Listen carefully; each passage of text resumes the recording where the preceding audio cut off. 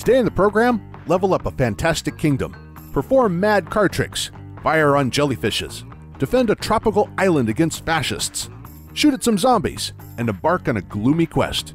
Let's go!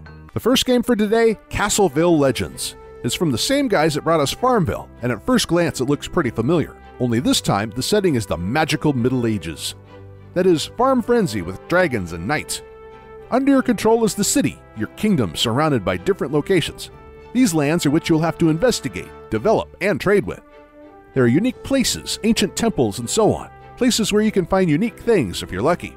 Generally, if you like this genre, try it. At least it's something other than cultivating wheat and milking cows. The second game is called Stuntman Steve Stunt Racing. It is about a stuntman who jumps through burning rings and performs other tricks with his car. The gameplay is like this a side view as the car travels forward along the track accelerate at the right time to overcome an obstacle. It has to be done precisely, or he'll come up too short, or overshoot it and get overturned. If you're not lucky, you could get blown up on a mine. To improve your guy, of course, you have to collect coins. The better you perform the stunt, the more coins you'll get. So forward you go until you crash. The game is rather dynamic and worth playing. Abyss Attack is the third game for today. Bright, colorful gameplay immediately catches your eye. For the most part, it is an arcade shooter where the hero of the game, a submarine, travels forward while crowds of enemies descend from above. But even in a game genre as ancient as this one, there are still new things to be seen. The main advantage of the game, undoubtedly, is the graphics. The backgrounds are absolutely psychedelic, and enemies are jellyfishes, plasma blobs, and other things you can't really even describe. So all you really need to do is blink, move, and shoot. The game is really beautiful. Next up, Battle Islands is a classic real time strategy game.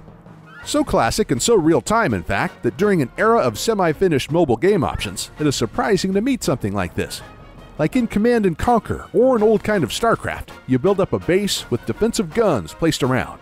You create units and barracks and fight off enemy attacks. It's all set during World War II on tropical islands. Well, it's not quite clear why there are such battles for a small island with three palm trees, but that's beside the point so I recommend the game for those who miss old kind strategy games set in real time.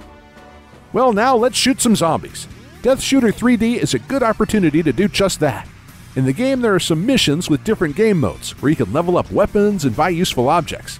Missions are varied. Sometimes you'll sit on a roof and shoot zombies with a rifle, which try to destroy some object. Sometimes we'll appear at ground level, in close proximity to the walking dead. And sometimes your enemies are still among the living. The game is done quite well, and it's at least worth giving a try. Finally, the point and click quest Forgotten Travel. And like any decent quest, it's not about the gameplay, but about the plot and atmosphere. The graphics don't let you down here in this gloomy steampunk world. It all begins when the main character finds out that all other people disappeared for some reason, and it's up to you to find out why. Tap on active objects, look for things that interact with other things, plunge into an immersive atmosphere, and explore this quite interesting world. That's all for today. If you like the reviews, follow our channel, put likes, add comments, and join the group.